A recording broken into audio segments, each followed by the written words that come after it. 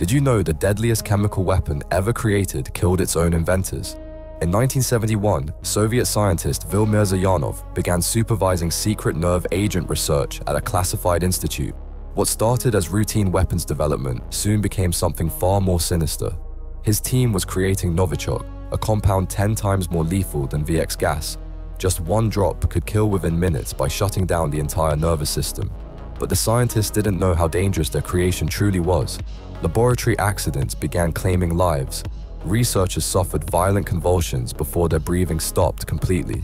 The worst incident happened in 1987 when lead chemist Andrei Zheleznyakov accidentally spilled a single drop on his hand.